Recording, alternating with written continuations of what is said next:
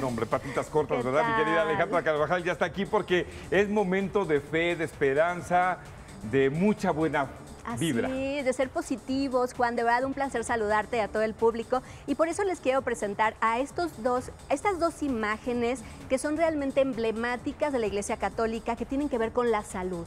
Aseguran que hay muchos milagros con respecto a eso y vamos a conocer su Vamos, historia. por favor. Salud es lo más valioso que podemos tener y en la religión católica existen dos imágenes en particular en donde los creyentes depositan su fe para pedir por sus enfermos. Nuestra Señora de la Salud, originaria de Pátzcuaro, Michoacán, y el Cristo de la Salud. La imagen del Cristo de la Salud, que es de autor desconocido, llegó a la Catedral Metropolitana en el siglo XVII y hasta ahora se ha convertido en una de las imágenes más veneradas. Precisamente de los médicos.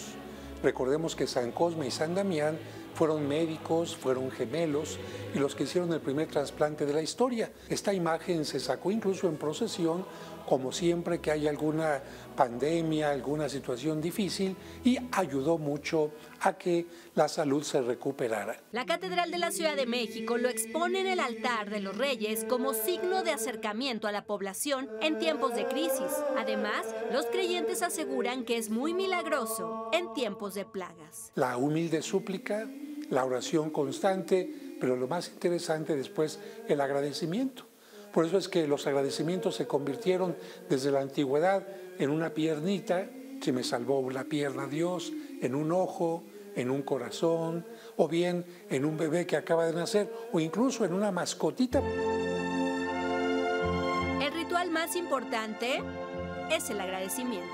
La imagen de la Virgen de Nuestra Señora de la Salud se debe a don Vasco de Quiroga, que le pidió a los indígenas purépechas que le realizaran la imagen de la Virgen María, y ellos la hicieron con solo productos naturales. Pasta de caña, raíces de orquídea es parte del material que se utilizó para crear esta imagen de un metro de altura. Esta imagen es cuidada especialmente por las religiosas dominicas y ellas se cortan el cabello para hacerle la peluca constantemente de cada año. En Páscuaro tiene una capa, un manto bastante largo hacia atrás y la gente después de misa pide pasar para que pueda pasar exactamente debajo del manto de la Virgen.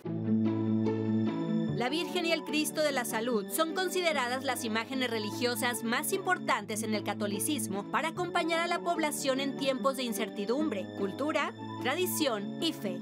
Yo soy Alejandra Carvajal y esto es Al Extremo. ¿Qué te parece, Juan? Además, las monjitas que cuidan a la Virgen de la Salud son las monjitas dominicas y ellas también salvaron al ajolote, recordarán, y ellos ellas han encontrado un jarabe que dicen que es muy bueno, en fin, todo, todo rodea la salud.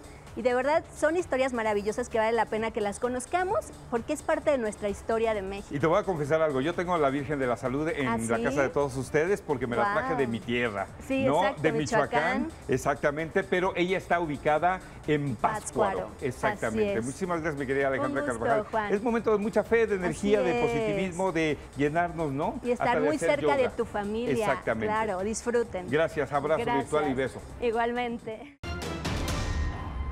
Extremo.